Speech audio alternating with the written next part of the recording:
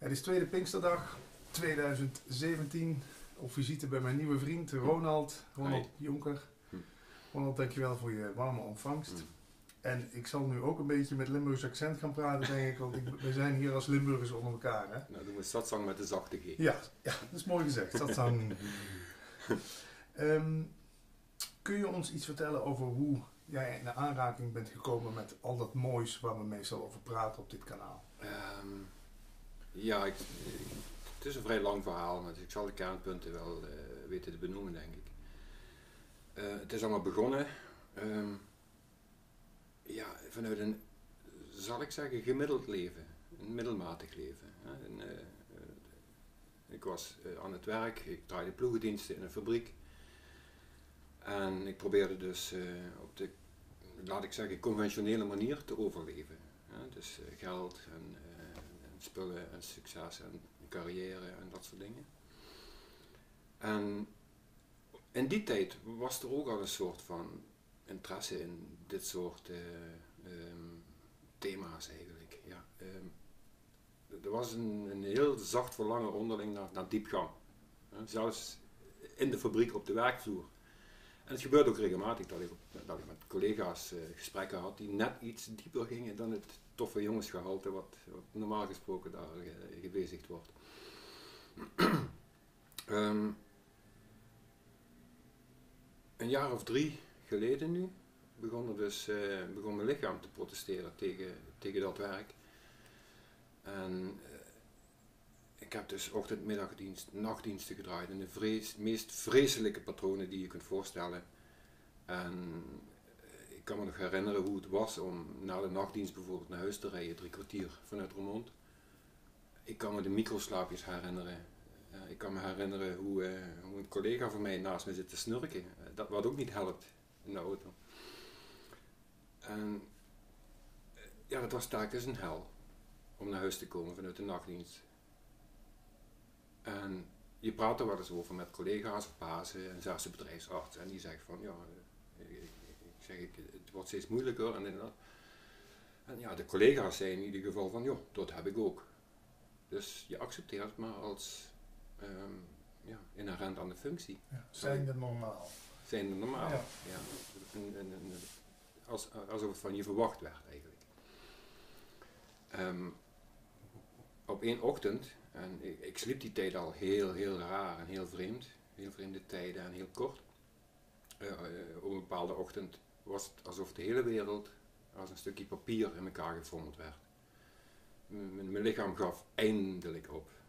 En ik kon niets meer op dat moment. Het was een totale uh, van, van, van, van alles wat ik wereld noemde. En ik heb mijn laatste energie toen gebruikt om muziek te melden en naar huis te gaan. En, en zo dus in het ja, conventionele circuit van een ziekmelding te komen. Wat was de officiële diagnose? Ja, burn-out, burn ja, breakdown. Uh, en voor mij was het het begin van uh, wat men wel noemt de, de, donkere nacht van de ziel. Ja. Maar het is pas achteraf dat je dat bemerkt. Ja. En uh, ja, in de eerste maanden daarna heb ik, kan ik me niet meer veel meer herinneren wat gebeurd is. Nee? Wat, wat heb je gedaan? Weinig, denk ik. Heel weinig. Ja. Ja. Ik heb wel mijn plicht gedaan. Dat was plichtsgevoel. Ja. Van, uh, ja, uh, en, en, schuldgevoel ook wel, vanwege de ziekmelding. Ja. Ja, en, en, en twijfel, depressie, uh, zinloosheid, wanhoop, alles bij elkaar. Een bonte potpourri van alleen maar negatieve emoties. Ja. Dus in die tijd heb ik dus echt aan de rand van waanzin mogen snuffelen. En, en, en zeg maar de geboortegrond van de verwaarde man mogen verkennen. Die, die nu zo populair is in de media. En uh, ik heb ook letter, eigenlijk letterlijk op het rondje gestaan. Van? Van, van het opgeven. Ja, suïcide? Ja. Of meer... Het voelde wel zo. Het voelde alsof mijn lichaam werd overgenomen op dat moment. Door de emoties en niet, ja. niet meer door de reden, niet meer door het verstand. Ja. Ja, dus ik kan er geen definitief antwoord op geven, maar het, het was, ik, weet, ik kan me wel herinneren dat ik drie uur s'nachts uh, heel ver naar onder heb gekeken. Ja. Het waren mijn eerdere ervaringen, met intensieve uh, spirituele ervaringen die ik heb mogen meemaken, die hebben me als het ware teruggetrokken. Eh, de herinnering van eh, tijdens een intensieve sessie heb ik me ook zo gevoeld. En daarna was het beter. Dus ook dit is voorbijgaand. En ook dit gaat voorbij. Hè? Mhm. Het waren die herinneringen aan die sessies die me eigenlijk teruggetrokken hebben. Dus mijn dank is daarvoor dat ik dat, dat, ik dat, dat, dat pad bewandeld heb. En sessies bedoel je mee? Ja, met, eh, met shamanische sessies, eh zweethutten, maar vooral eh, mijn ervaringen in de, in de wereld van ayahuasca. Ja. Dat, eh, dat gaf me de, de herkenning en het gevoel van ja, ze heeft mijn leven gered. De plant. De plant heeft mijn leven gered. Ja? Zo voelde het wel. Maar, ja, ik heb het zelf nog nooit gedaan, maar ik hoor er heel veel mensen heel enthousiast over. Wat, kun je in kort vertellen wat, wat die plant dan voor jou gedaan heeft? Je, je neemt dat spul in Ja, en wat wordt je dan duidelijk? je wordt geconfronteerd met eh, al je angsten, eh, al je demonen, eh, herinneringen waarvan je misschien gekozen hebt om ze te vergeten. Mhm. Ja, die komen dus boven. En je komt eigenlijk in, eh, in mijn geval dan. Hè? Mhm. Ik kwam dus in, in mijn persoonlijke hel terecht. Eh, eh, demonen, angstige gevoelens, paniek, vechten, weerstand. Mhm. Dus ayahuasca gaf mij wat ik nodig had, niet wat ik wilde. ja, ja, ja, ja. En in, in de Santo Daime kerk noemen ze het ook wel een werk. Het is hard werken, Ja. ayahuasca. Ja, hard werken. Het is dus geen shortcut wat sommige mensen denken van oh, één of twee keer die plant en dan eh, ben ik van alles af. Ehm, het transformeert iets. Ja, het transformeert wel iets. Je wordt opener. Het is alsof er, eh, alsof er iets meer licht door je heen schijnt. En nou, in zo'n sessie krijg je dus de kans om heel eventjes boven water uit te kijken. Even kijken, wat is hier los? Wat Ja. gebeurt hier allemaal? Helikopterview.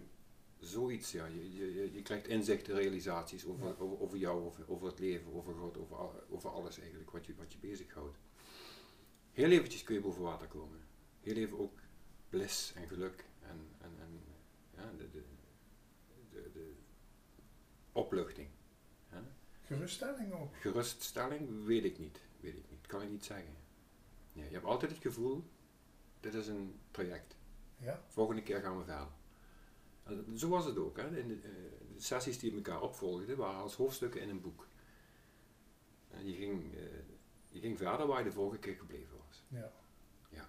Met alle, eh, en, en dieper. En, en op een gegeven moment kreeg je dus ook de beloningen.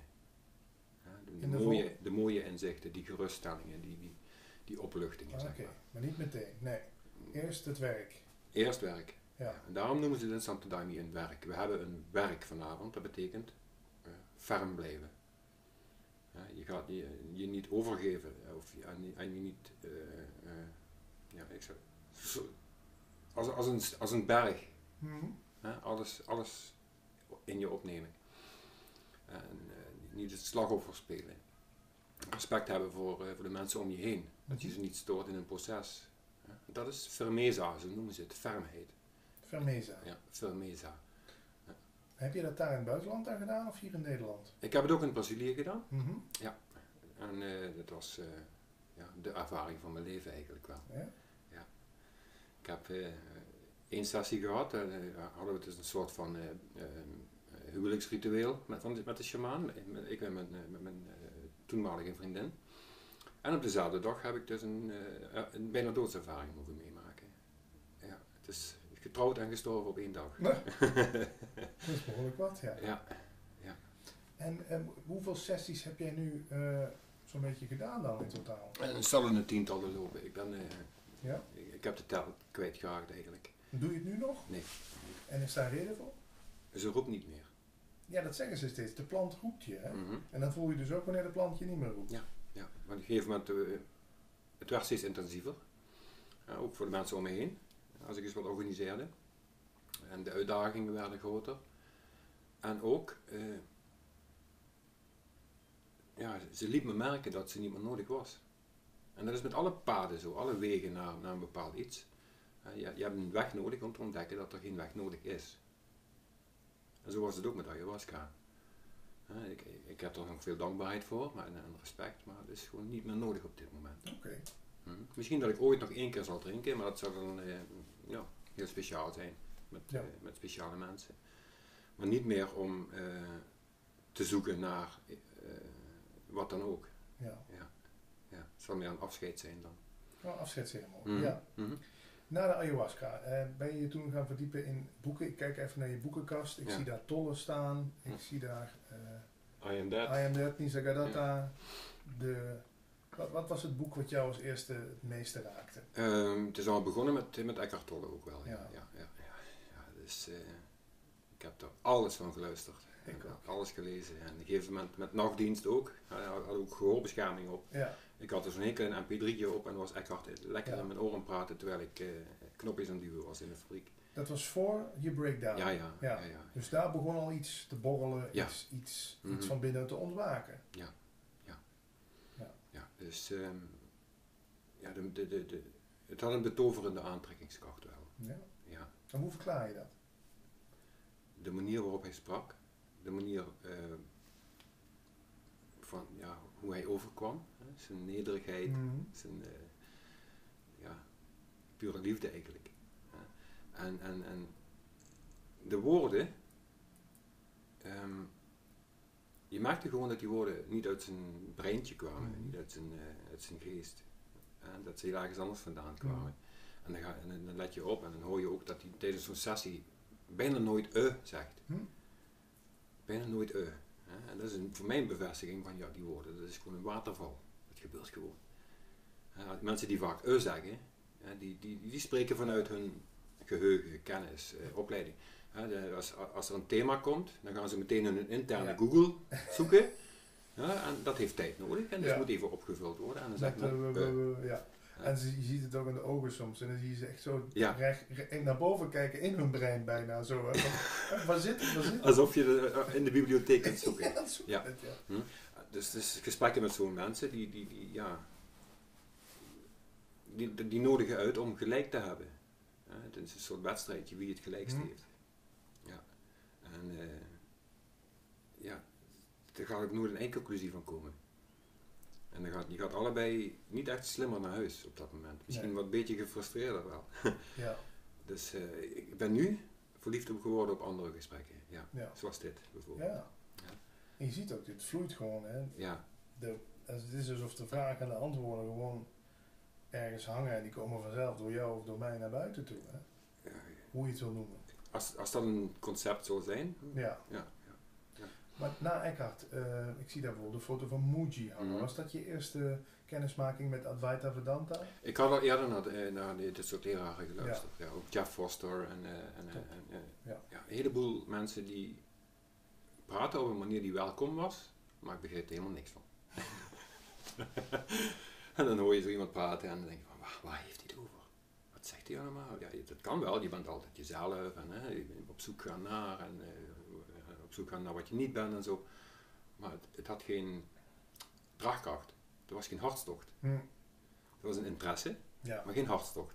En wanneer kwam die hartstocht? Dat was net na die breakdown, zeg maar. Toen was je open Ja. ervoor. En in één keer begonnen Mo- Moji's en ook andere leraren, eh, die woorden begonnen dat te raken waar ze naartoe gericht zijn. Ja, dus niet zomaar het begrijpen, het intellect, het, het vullen van je kennisbank of zo. Maar dat, in één keer gingen die woorden door. Hm? Precies daar waar ze nodig waren. En toen begon er een hartstocht te komen, een verlangen. En een soort van geruststelling van ja, dit, dit zou me wel eens ja, een soort van ultieme opluchting kunnen geven. Dit zou me misschien wel kunnen helpen uit mijn benarde situatie. Ja, de redding. De redding, ja, ja een soort van Ja. boei. Ja. Mhm. En eh ja, ging elke dag wel naar Moetje luisteren. Ja. En, en, en, en het was juist zijn nederigheid en zijn compassie en zijn, zijn integriteit. En soms ook wel zijn humor, wat me raakte. Want dat heb ik gewoon heel veel gemist, merk ik. Het is mijn hele leven heb ik het heel moeilijk gehad om liefde te accepteren van iemand. Alsof er een soort muur om me heen was, waar dat soort gevoelens niet doorheen mochten. En bij Moji kon ik eigenlijk voor het eerst eh, echte gevoelens van, van respect en dankbaarheid voelen. En dat, eh, dat was nieuw voor me. Nieuw, helemaal nieuw. En dat op ja, 52-jarige leeftijd. dat, dat, dat je dan nog zoiets mag meemaken. En, uh, ja. Een geschenk. Een, een, geschenk, ja. Een geschenk van het universum. Ja. Mm En toen ik dus op een moment opeens mezelf terugvond dat ik net een boeking had gedaan naar Portugal te gaan. Naar Muji toe? Ja. Toen begon het avontuur. Ja, voor mij wel. Het was een soort pelgrimstocht geworden. Ja. Ik, ik had geen zin om tussen de, uh, duizenden anderen op een, op een vliegveld te staan en dat soort dingen. Ik, kon ik gewoon even niet aan. Dus ik heb een autootje gepakt richting Portugal. Onderweg geslapen achter in het bakkie. Zo'n kangoetje is dat. Ja. Uh, avonturen mogen beleven. Het was uh, fantastisch. Kun je eens iets vertellen wat je hebt meegemaakt onderweg? Ja, ik kom net van Muji vandaan. Ja. En na die zeven dagen stilte kon ik niet naar huis. Ik, ik ja, ik, ik, stond met drie voeten op de rem, zou ik maar zeggen. Ja, ik kon niet terug naar de, naar de plastic omgeving wat wij maatschappij noemen. En ik wist, een vriend van mij zat in Noord-Italië in een uh, verlaten bergdorpje. En dat heette Zonka. En ik zat dus in Zimar, zo heet dat, uh, die camping. Dus ik denk, ja, van Zimar naar Zonka. Perfecte titel. Ja, dus ik, uh, in plaats van noordelijk ben ik dus noordwestelijk gegaan. En ja, nog volledig in de, in de sfeer van Muji. Van de Sangha, van de samenleving daar. Die mooie, allemaal mooie mensen ontmoet. Vriendelijkheid, zachtheid, dat soort dingen. En in één keer stond ik dus gewoon een van de vele tolpoortjes. En ik had het verkeerde poortje gekozen, want dat was een of ander abonnementskaartje of zoiets. Ja. Dus even backup en een ander poortje pakken. Uh, maar aan de andere kant van, het, uh, poort, van, de, van de poortjes stonden dus een paar militairtjes met hun machinegeweertjes. En, en, waarvan één met de handen omhoog van hoog stop ja, logisch. Hè. Een Nederlandse auto, ja. hè, die terugzetten, twijfelen, hè, kom je maar eens even hier. Ja. En het wist had ik een enorme hond in mijn auto. Een hond? Ja. Voor drugs? Ja, voor te snuffelen. En ja, en, en, en, een gesprek met, een, met die douanier, hè, hij vroeg me drie keer waar ik vandaan kwam en ik moet ook drie keer vertellen waar ik naartoe ging. Gewoon checken. Ja. Maar als versgebakken uh, uh, silent retreat uh, diplomist, zal ik maar zeggen. Ja, ja. Ja, die was een stilte en, en, en, en, een lieflijke omgeving, was dit natuurlijk precies de andere kant. Ja, ik kwam wel even binnen. Wow. Ook al had ik, ik, ik had natuurlijk niks in de auto hè, wat, Nee. wat verdacht kon zijn. Maar je staat te trillen. Ja, De eerste, het eerste contact met maatschappij was dus op die manier. met geweer en een hond. Ja. Hoe, hoe, wil je het krijgen? Ja, ja.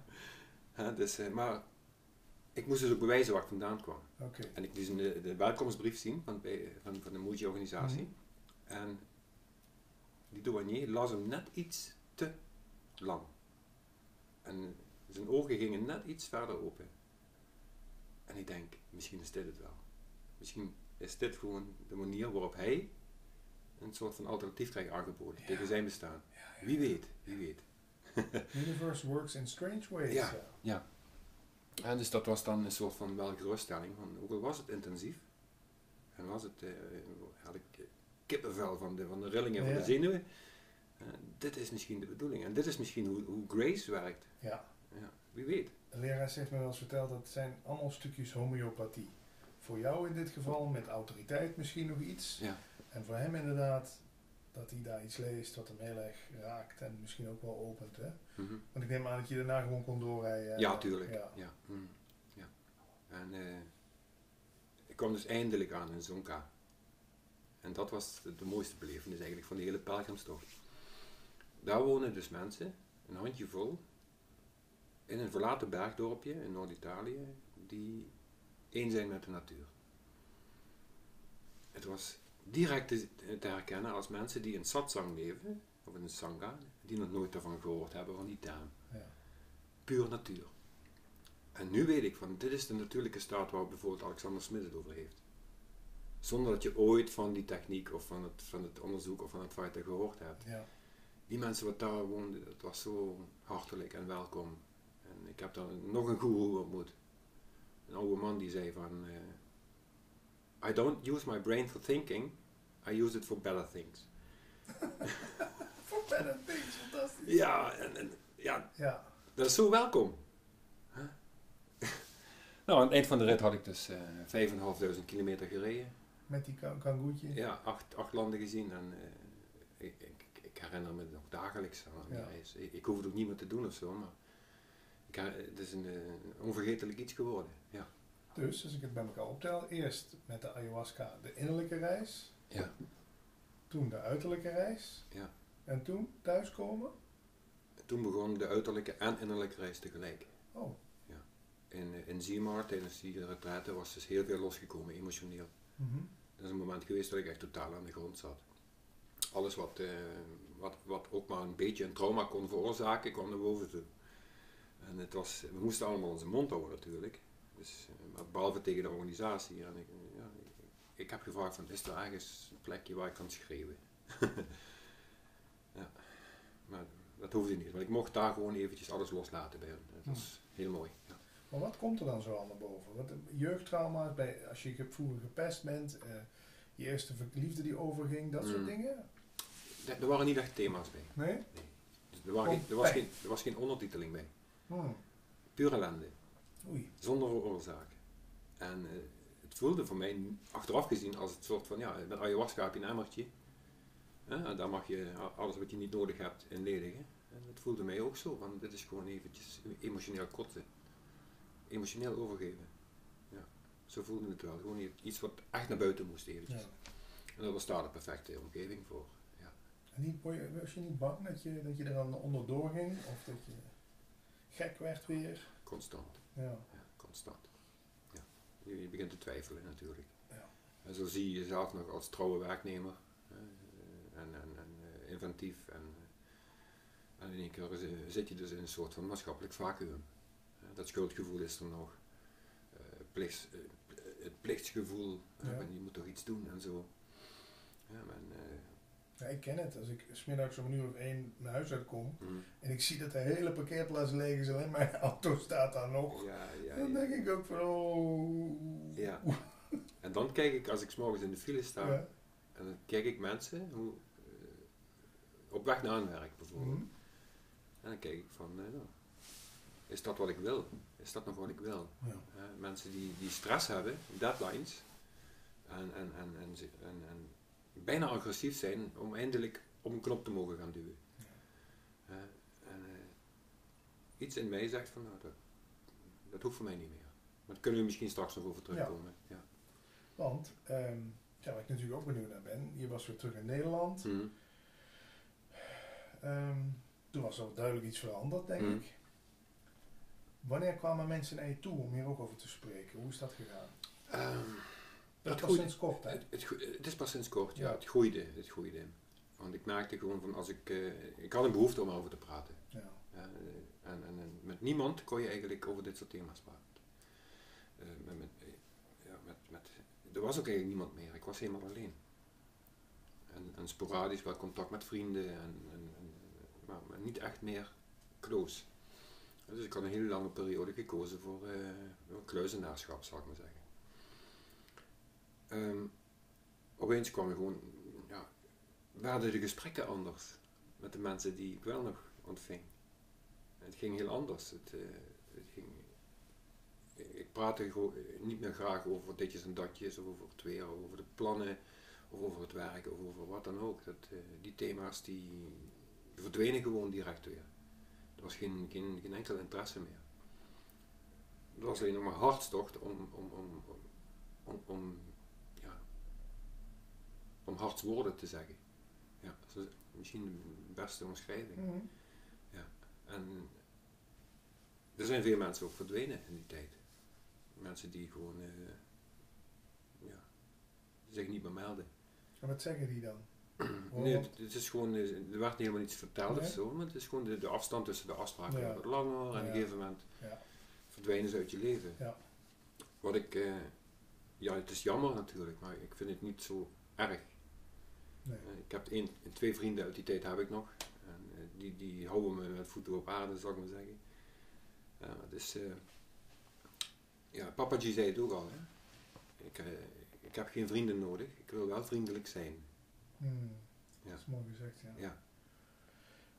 Is dat een risico dat je alleen nog maar omringt met mensen die hierover spreken, willen Hmm. spreken? Heb je, of zeg je, ja, dat regelt zichzelf ook wel? Het kan een hindernis zijn. Ik merkte in, vooral in de beginperiode was er nog een stuk arrogantie. Uh, en trots. Mm. Van, uh, van, hey, kijk wat ik ontdekt heb. En dat heb jij ook nodig. Ja? Ja, die foto heb ik ook gemaakt. Ja. weet je wat jij moet doen? Ja, verliefdheidsfase en, zendingsdrang, hè? Ja, de, het redderspelletje. Ja. Hm? Ja, en dat hebben we ook met schade en schande moeten leren op die manier. Ja. ja. Dus die fase is, uh, heb ik ook mogen, mogen meemaken. En alles wat, wat er gebeurd is nu, heeft me nederig gemaakt. Dus het is een stuk nederigheid wat, uh, wat ik nu ervaar. En, en, van daaruit je voelsprieten uit, uitstralen, zal ik maar zeggen, voelt authentiek. Ja. Dat voelt als zijnde van welkom, als um, deel van grace. Ja? ja? En het is heel goed opletten of er nog een heel klein beetje arrogantie of trots of urgentie zelfs bij is. Ja? Ja, want is, ik voel geen urgentie op dit moment. Het is de ervaring, de, de, kennismaking met jou bijvoorbeeld, mm -hmm. ja, die, is, die, is, die is super waardevol voor me. Maar ik hoef niet echt reclame te maken of mensen zeggen van hier ben ik of wat nee, dan ook. Dat is allemaal niet zo. Nee. nee. En het mooie was toen we elkaar net voor het eerst zagen in een split second in die, in die lift hier, mm -hmm. dan vindt er iets van een soort herkenning plaats. Mhm. Hè? Ik heb dat al vaker met mensen, jij zei het zelf ook al, alsof je als twee oude vrienden elkaar ontmoet. Ja, hè? ja. Terwijl elkaar, wij kennen elkaar nu pas een paar uur in het verhaal. Ja. Is dat dan die tijdloosheid die de tijdloosheid herkent? Of hoe zijn daar woorden aan te geven wat dat is? Ja, je zou hoogstens een metafoor kunnen gebruiken misschien. Als ik hier een stemvork neerzet en aan de andere kant van de woning ook een stemvork, als ik hem aansla hier, gaat hij erachter heel zachtjes mee terug. Mhm. Ja. Of het nu hoorbaar is of niet. Ja. En hoe dichterbij, hoe, uh, hoe groter die resonantie is.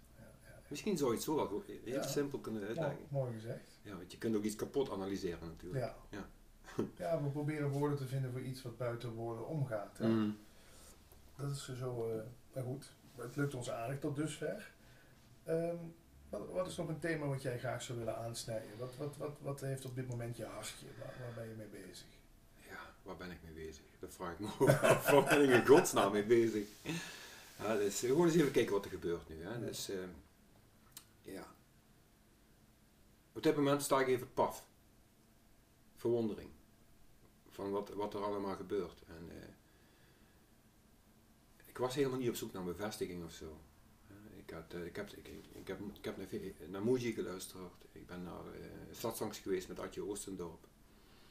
En Adje gaf me dus echt een soort van duw en druk. Hè, waar Muji praat meer in een soort van poëtisch en eh, omschrijving en uitnodiging. En, eh, heb ik bij Ad dus eh, mogen ervaren hoe iemand direct to the point gaat, tot het gaatje. En dat was misschien wat ik nodig had. Ja. Zo had ik dus een meester gevonden, noem het maar een guru in Muji, en een leraar vlak in de buurt. Oh ja. Ja. En ik heb nu ontdekt, contact met een levende leraar is onontbeerlijk in dit proces. Ja. Ja. Waarom? Voorlopige conclusies. Toen ik terugkwam van Muji, wist ik van, dit is het. Dit is het.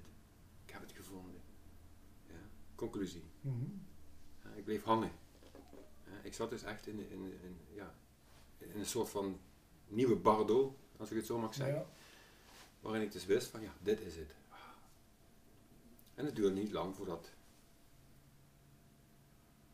zich toch weer gedoe aanmeldde.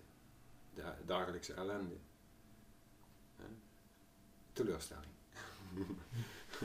Enorme teleurstelling natuurlijk. Want je dacht, dit is het. Dit is het. Ja, ja, ja. Niks kan Vrijheid. Ja. Vrijheid, hè? Ja. en ik heb zo vaak van die momenten gehad. Zo, zo vaak momenten, Eureka-momenten gehad. Ik denk van, ah, dit is het. Ah ja. Terwijl ik de dag van tevoren nog een heel andere inzicht had. Ja. Nu herken ik dat zijnde, als zijnde van, nou, maak geen eindconclusie in dit pad. Blijf nergens in hangen. Hm. En je hebt een levende leraar nodig die je dat vertelt. Want hij weet precies waar je bent. Hij, hij schat het in. Hij, eh, hij past zijn, zijn, zijn woorden erop aan. En soms kan het best streng zijn. of, of een teleurstelling veroorzaken. Ja? Ik, ik, dacht ook van ja, ah, ik ben ontwaakt. ja? en, en, en ja, en dan in één keer krijg je van ja, je, krijg je te horen van nee, je mind zit nog volledig in het zadel. Hm? Dan ga je weer, hè? Helemaal opnieuw beginnen. Ja. Want uh, je kunt zelfs niet verder waar je gebleven was. Het is helemaal terug naar nul. Terug naar af. Mm Ja. En je hebt echt een levende leraar nodig. Die, die je in een ontmoeting kan vertellen van zo en zo en zo is het. En een levende leraar zal ook nooit, waarschijnlijk nooit vertellen van ja, jij bent ontwaakt. Ja. Het blijft altijd een, een, een verrassing. Ja. ja. Word je er nou nog eens moedeloos van? En je denkt, Jezus, ik dacht dat ik al zo ver was, maar mm. ik weet helemaal niks. Dat is het beste wat je kan gebeuren. Ja. Dat moment. Ja. Helemaal niets weten en moedeloos worden. Ja. Dat is het allerbeste wat kan gebeuren. ja, je, je, je, geeft het bijna op. Mm. Je valt bijna terug naar het, uh, nou ja, je, je verlangt dus bijna terug naar je, naar je vorige leventje, zal ik maar zeggen, je, je overleventje. Ja. En dat zijn de momenten wat wel eens een soort van laatste crisis kan betekenen. De laatste crisis. En is meestal een hele, hele harde leer, een hele harde les. Ja. ja. Want alles wat je, tot, wat je tot nu toe ontdekt hebt, blijkt helemaal nutteloos en waardeloos te zijn. Ja. ja. Jeetje. Ja. En hoe sta je dan tegenover, hebt ook, noemen ze geloof ik Neo-Advaita, mensen die zeggen er is helemaal geen pad. Dit mhm. is het, je bent al ontwaakt, je denkt alleen mhm. dat je niet ontwaakt bent. Ja, dat kan. Uh, ja, het kan heel romantisch zijn, wat ideetjes. ja. ja en, en het is heel mooi om, om dat via kanalen met elkaar te delen. Maar op het moment dat die uitgesproken is en iemand roept, hé, hey, je auto staat in de fik, eens kijken hoe die in het moment zit. Ja, ja. ja. ja. dat, dat zijn de uitdagingen. Ja. en, uh, ja, ik heb er ook verder eigenlijk geen mening over. Nee. Mm. en praktische dingetjes. Ik snijd ze graag aan in de interviews. Mm Wat mij mateloos fascineert, blijft er nog steeds het verhaal over de doener. Hè? Mm Zit hier nou Ronald en Patrick, die allebei bewust ervoor gekozen hebben om zo te gaan zitten en hier naar Brunsum te rijden? Mhm. Of gebeurde het gewoon? Hoe, jij, hoe zie jij de dingen die gebeuren? Maak jij keuzes? Is er vrije wil? Dat thema. Uh, Patrick wil ook meteen door het gaatje. Hè? ja, dat blijft me fascineren. Ja. Even kijken of, er, uh, of ik iets kan beschrijven. Mm -hmm de neiging is om het te omschrijven. Mhm. Maar dan, dat is niet goed. Het is beschrijven, mhm. hoe, hoe, iets is. Mhm. En voor mezelf heb ik gemerkt van, nou, hoe meer je loslaat, hoe meer je vertrouwt op wat er gebeurt, ja, hoe groter dat, dat die, die dat, ehm, geruststelling wel is. Ja, geruststelling. Ja, je zult waarschijnlijk nooit echt begrijpen hoe het zit met vrije wil en keuze en dat soort dingen zijn net zoveel voor als tegenstanders van er is wel of geen vrije wil. Ehm, ik vind het verhaal van Rupert Spira wel mooi, hoe, hoe, hij die metafoor gebruikt van, van een film bijvoorbeeld. En als je naar een film kijkt, heb je ook geen invloed op wat er gebeurt. Je, bent, je, ziet de film en je ziet alles. En je leeft ook mee met de film. Je bent in de film, zeg maar, als toeschouwer zijnde. Inclusief alle emoties en spanning en afgrijzen en schrikken. Maar je hebt geen enkele invloed op wat er gebeurt. En het voelt voor mij nu alsof ik, alsof zeg maar een van de spelers op het witte doek zich gaat bemoeien met het script. Tot de vragen heb ik een vrije wil. ja? Totaal nutteloos. Hm. Ja? Hm. En als je de nutteloosheid van iets inziet, dan verdwijnt de vraag gewoon. Ja. dan is de vraag gewoon niet meer relevant. Ja, ik merk dat ik hem zo vaak stel, omdat het, de schuldvraag is bij mij natuurlijk uh, enorm. Weet je Ik ben natuurlijk ook opgegroeid in een katholiek nest. in Limburg. Waarbij altijd gezocht wordt naar de schuldigen en je de schuld krijgt van dingen. Mm. Het is niet mijn schuld, het is de schuld van hem. Ja, of, weet je wel. Dus het, het stelt mij zo gerust de boodschap dat er nog nooit iemand schuldig is geweest. Nee. dat klopt wel wat je zegt, ook bij een verkeersongeluk. Eerst wordt gekeken wie het schuld is, dan pas of er slachtoffers zijn. Ja, dat is toch eigenlijk... Zo lijkt het wel, ja.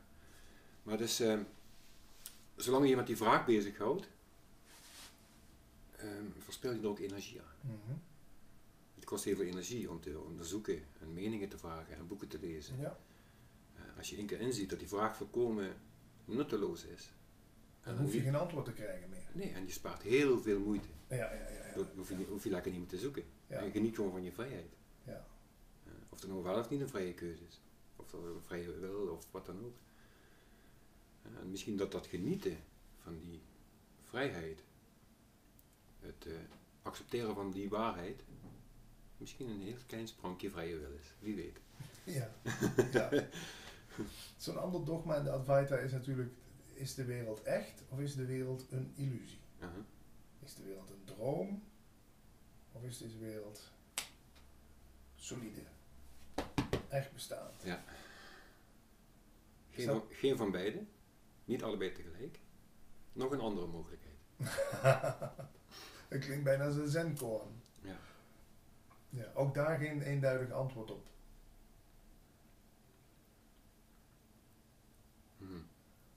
Wat is, wat is realiteit? Ja, inderdaad. Als je die vraag gaat stellen over de wereld, dan ga je het afhankelijk maken van je zintuigen. Je inputkanalen. En ergens komen die elektrische signaaltjes bij elkaar. En op een of andere plekje wordt daar het predicaatje, het etiketje, echt opgeplakt. Dit is echt. Ja. ja. Maar je zult dus nooit de wereld buiten je zintuigen kunnen ervaren. De hele wereld speelt zich af op dat ene plekje waar het etiketje echt op wordt geplakt. Ja. en, en, datzelfde plekje probeert dus ook te begrijpen of de, of de realiteit echt is. Ja. dus, uh, dus je komt in een soort looping. Ja. En met dit soort vragen stellen ga je dus, hoe zal ik het zeggen, de, de, de uiterste mogelijkheden van mind benutten. Ja, je gaat hem op de proef stellen, ja. Dat niet alleen. Verder komt hij niet. Nee. Dit soort vragen is het ook, is, is, is, gebruik, maak je gebruik van de ultieme mogelijkheid van je mind. Verder kom je nooit meer. Nee. Ja, dus hier zul je ook altijd blijven hangen als je het wilt begrijpen en analyseren en catalogiseren en onthouden. Ja. Dus uh, een eenduidig antwoord kan ik niet geven.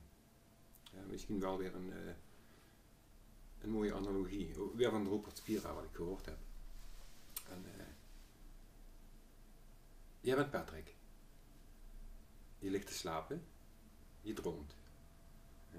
Patrick in de droom staat. En je droomt dat je Jean bent in Parijs. Een droom is alles mogelijk.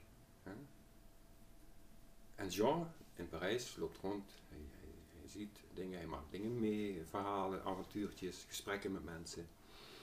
En Jean denkt, dit is echt dit bestaat. Dit ben ik. Ja? En, en alles wat er gebeurt is gewoon helemaal echt voor John. En in één keer komt John een iemand tegen, na een crisis, die zegt van, dit ben jij niet. Wie ben jij eigenlijk?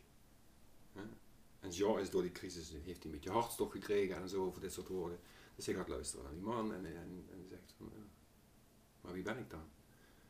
En die man zegt dan van, ja, het zou best kunnen dat dit gewoon gedroomd is. nee. Kijk dan, dit is toch echt hier. Dit is ja, hè? Ja. En ondertussen, ook al vertelde die man hem van, hé, hey, jij bent gedroomd door een Patrick. Oh, nee, ik denk dat, dat hij niet lang die leraar zal hebben. Ja. Hm? Leuke analogie vond ik het. Ja, is het ook. Dus wie zegt dat dit echt is? Ja. Dus de beroemde Brahman ligt dit gewoon allemaal te dromen in zijn hangmat. Ja. De, hele mikmak. Ronald, Muji, Patrick, camera. Ja, zelfs dit gesprek. Dus, dit is, gesprek, ja. In feite is dit gesprek ook volkomen nutteloos. Ja, maar wel ontspannend. ja. ja. Voor, voor de dromer. Ja, precies. Mhm. Mhm. Even kijken, we hebben nog zo'n 20 minuutjes. Okay. Um, wat nog interessant is om even aan te snijden, denk ik, is, ik hoor zo vaak van mensen van, ja, wanneer is er eens in Limburg zoiets? Nou, Mm. we zitten hier in Zuid-Limburg, Mm. Brunsum. Hoe, jij ontvangt mensen thuis ook? Ja, dus meestal één op één. Gewoon, dit soort gesprekken? Gewoon, gewoon contact, ja. En, Ja. me- en, en, en meestal eh, gewoon kleinschalig, op uitnodiging. Ja. Gewoon, nee, eh, ja, je zit ergens mee, kom praten. Niet Kijk. in satsangvorm. Semi-satsangvorm. Ja, ik, ik leg wel uit waar, waar, waar, waar het vandaan komt, Ja. waar de traditie vandaan komt, dat wel. Maar het eindigt meestal in een soort van semi-therapeutisch gesprek. Ja? Heel moeilijk eh, te recreëren nu, maar dat gebeurt ook van alles dan energetisch. Ja. Of of eh, ja, met, met, met woorden in ieder geval. Ja. En dat heeft me dus die hartstocht gegeven nu. Dat is een soort van passie om te delen en eh, een verhaaltje te doen. Ja. En eh, en van, van, vanuit die passie zijn dus nu die voelsprietjes uitgegaan. Zo van, hé, ik organiseer eens iets. Ja, ik heb een, een hele leuke stadszang gehad met acht mensen. En, en, en eh, de tweede voelspriet ben jij. Hè, jij bent nu hier en gewoon even kijken wat er gebeurt. Ja. En zoals ik al zei, er is geen urgentie. Er is geen eh, maatschappelijke, eh, het moet gebeuren of zo. Ja. Ja, het is, ik geniet van dit soort momenten. Ja. ja dit, is, dit is genieten voor mij. Je bent het, het levende voorbeeld nu van je staat open voor wat zich aandient. Mm. Maar goed, mensen kunnen dus in contact komen met jou. Ja. Ronald Jonker is je naam. Je Mm. bent op Facebook te vinden. Hè? Ja, ja. Voor mensen die met je willen komen praten. Je vertelde me ehm, dat je nog een interview, ander interview gekeken had met Emilia Hollander. En dat je Mm. dat heel erg geraakt had. Ja, ja. Wat, wat gebeurde daar precies? herkenning. Een soort van bevestiging. Mhm. En je bent niet gauw op zoek naar bevestiging als je op dit pad bezig bent, want dat is dan weer een soort van arrogantie, een hele lichte vorm. Mhm. Dus ik, dat, ho- dat hoefde voor mij ook niet. Ik hoefde geen bevestiging, ik was intern eh, bevestigd. En eindelijk komt er iemand voorbij die in je hart praat weer. In die moerstaal. Totaal onverwacht. Mhm. Eh, zo liefdevol. Ja, dat, voelde zo welkom op dat moment. Eh, ik, ik, ik kan niet, geen, geen fragmenten meer herinneren of zo. Het was het hele gesprek kwam als een, als een warme douche over me heen. Ja. En eh, het is mooi om te weten dat dat soort mensen er zijn. En dat er, eh, dat er meer mensen zijn die eh, met dit soort dingen bezig zijn dan, dan dat ik eerst dacht. Ja. En dichter in de buurt dan Portugal. Ik heb nog veel dichter in de buurt. Ja. Ja. Ja, Ik heb nu contact met, met een van de mensen die op mijn eerste stadszang was. En er was meteen contact, Mhm. zoals wij, wij ook hadden in de lift. En, Herkenning. En ik heb hem eh, op die stadszang een compliment gegeven. Van zo, hey, voor een psycholoog ben je best wel wijs. kon niet meer lachen. Mooi gezegd. Ja, kon niet meer En lachen. dat hij ermee kan lachen is ja, ook een goed teken. ja, ja. Dus eh, we hebben gewoon nog eens afgesproken daarna. En dat, dat is een feest. Als je zo iemand ontmoet, Hm. ehm, waar je inderdaad dat soort gesprekken mee kunt hebben, van je hoeft niet het gelijks te hebben of het eh, hele weer pingpongen van meningen en concepten. Nee, gewoon elkaar aanvullen en bevestigen. En we hadden een soort gelijk contact als wat we nu hebben. Hè? Gewoon open, vriendelijk en niks verwachten. En we gingen samen op zoek. Satsang onder vier ogen. En we, we- gaven elkaar satsang. We, gingen, we gingen iets onderzoeken.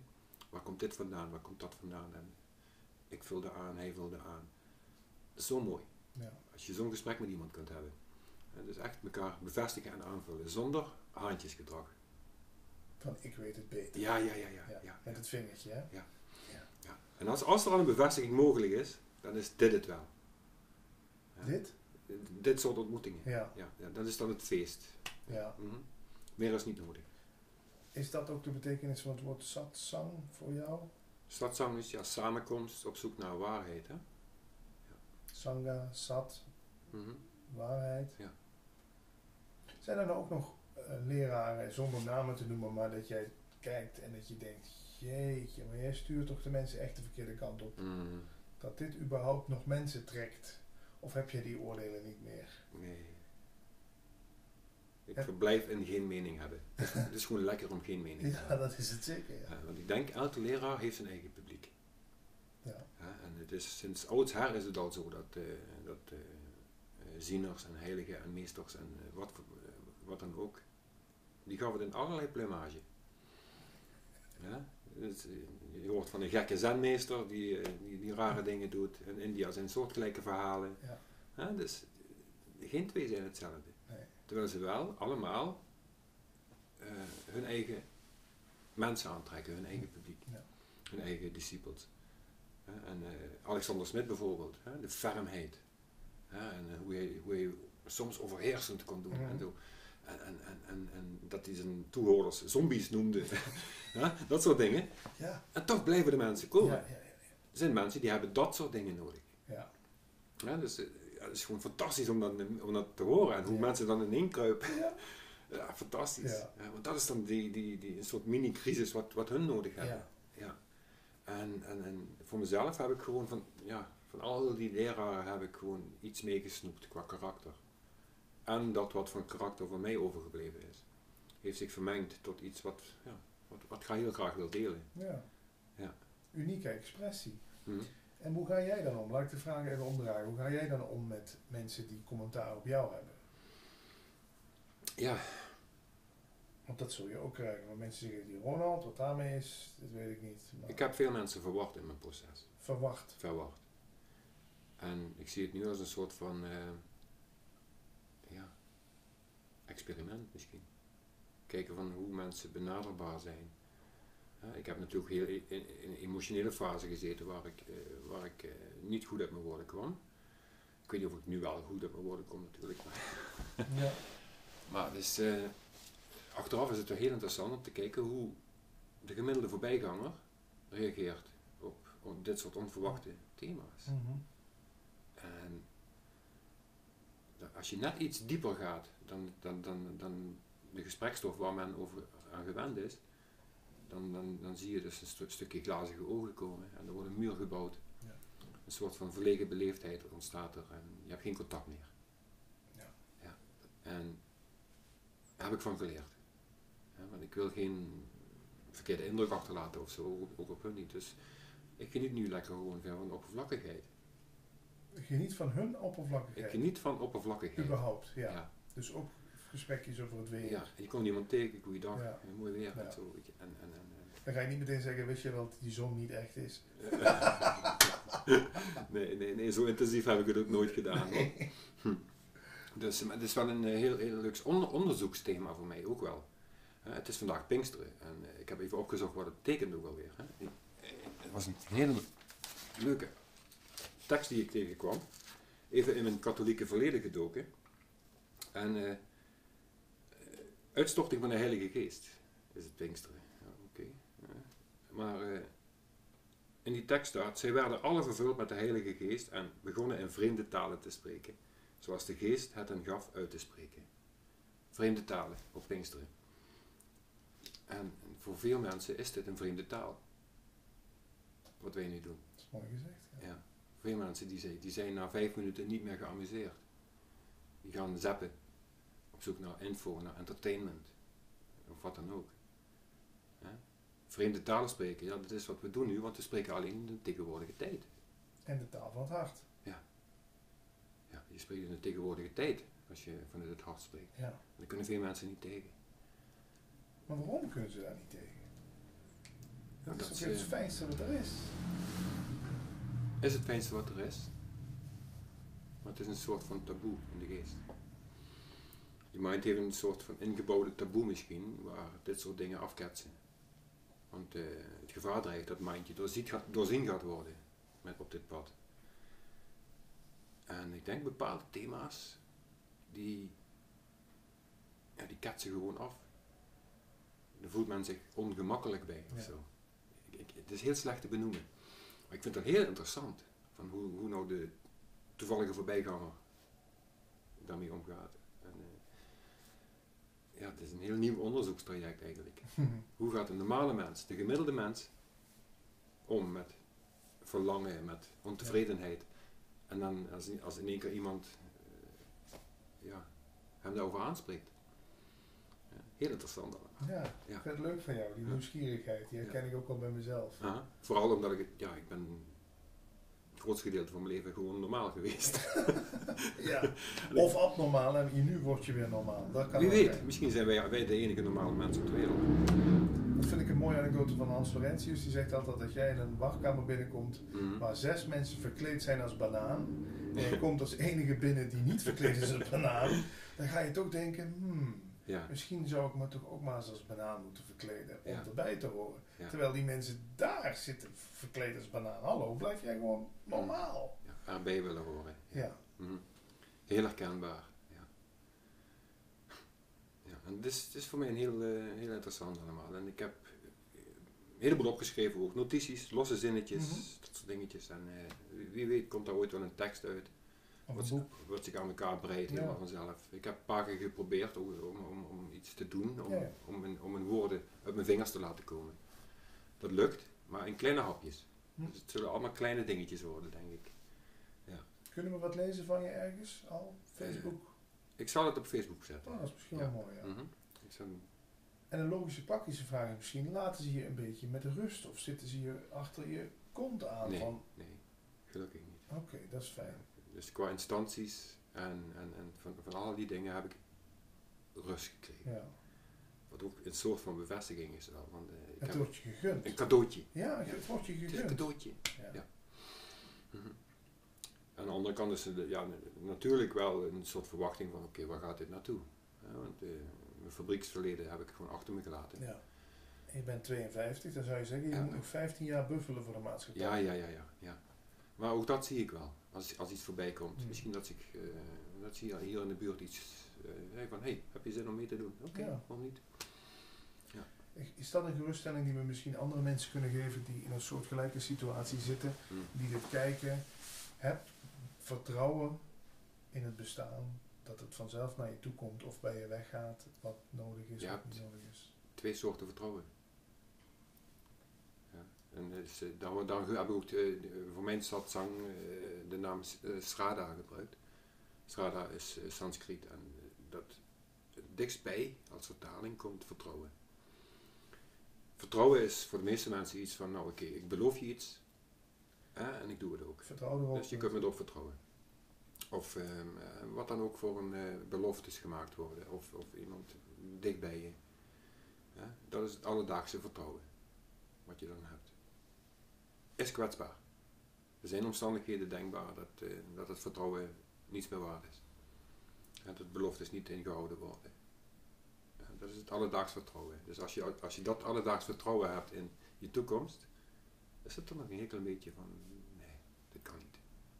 Ik moet werken, ik moet, iets, ik moet iets ondernemen, ik moet actief worden, Ja. initiatieven tonen enzovoort. Strada betekent eigenlijk dat vertrouwen wat je hebt als, als een baby voor het eerst zijn ogen opent. Er is geen angst, er is geen eh, schrikreactie, er is geen oordeel, helemaal niets. Alleen pure nieuwsgierigheid. Wat is dit allemaal? Ja, dat is wat, bedoeld wordt met schada. En, en dat vertrouwen zit nu ook nog in jou. Het gevoel hebbende dat alles oké is, alles oké wordt. Alles komt goed. Zelfs in een meest kritieke situatie heb je toch het gevoel van het komt goed. Dat is dat eerste gevoel, die ingebakken, eh, ja, ingebakken menselijke nieuwsgierigheid. Ja. En als je zo'n vertrouwen kunt hebben, dan, dan, dan verdwijnen, verdwijnen, verdwijnen dat soort vraagstukken weer. Dat is een mooie wat je zegt. Dus Mm. in plaats van bang te zijn voor een nieuwe ontmoeting, bang Mm. te zijn voor een belastingbrief, Mm. nieuwsgierig. Zo van, hé, wat gebeurt er nu Ja. alweer? Ja. En dat ben je in een film ook. Hè. Je bent benieuwd wat dan in het volgende moment gaat gebeuren. Ja. En niet van, oh, Hm. dit mag niet gebeuren. Ja, ja. ja. Mensen leren niet om in het nu te zijn. Hè. Dus, altijd van, eh, dit is niet oké, daarachter wel. En dan krijg je inderdaad dat graaigedrag. Ja. En Zoals Eckhart Tolle het ook mooi uitlegt. Ja, maar dus, eh, voor mij was het, eh, was de kracht van het nu eh, nog te beperkt eigenlijk. Want zelfs het, het nu ervaren, beve- eh, dan bevestig je het bestaan van tijd. Er is alleen dit moment. Maar als je zegt, als je gelooft in dit moment, dan bevestig je het bestaan van tijd nog. Ja. En dat is de, de laatste hindernis, een van de laatste hindernissen. Het, uh, het gevoel van tijd. Of het, uh, de aanwezigheid van tijd net zo onrealistisch verklaren als, als je ego. Ja. ja. Misschien kunnen we het daar nog een volgende keer over hebben. Mm -hmm. Want uh, ondanks dat tijd inderdaad niet bestaat, zitten we al bijna op een uur. Wow, we hebben het uurrecord gebroken. In 59 minuten en 60 seconden. ja. Maar zo voelt het nooit, dit soort gesprekken. Ja. En het gekke is ook als je hierover begint, dan kun je soms drie uur aan een stuk over praten. Mm. En je bent nog niet moe, hè. Ja. Omdat het inderdaad gewoon door je heen komt. En, uh, Ja. Je had nog wat notities gemaakt. Wil je daar nog iets van gebruiken? Nee, het zijn maar notities joh. Ik denk we hebben alles behandeld. Ja. ja. En we zitten op, eh, eh, op 33 graden inmiddels, want van, van PK moest natuurlijk weer alles dicht voor het achtergrondgeluid. We gaan zo onze eigen zweetuitceremonie eh, doen. Eh Ronald Jonker, hartstikke bedankt. Nogmaals, als mensen, namaste, als mensen met jou in contact willen komen, het makkelijkste is Facebook. Hè? Ja, doe maar. Ja. Mhm. Of e-mailtje ronaldjonker.gmail.com. Aan elkaar. Ja. Helemaal goed. Dreigt helemaal goed te komen. Dankjewel voor dit fijne gesprek. Dank je.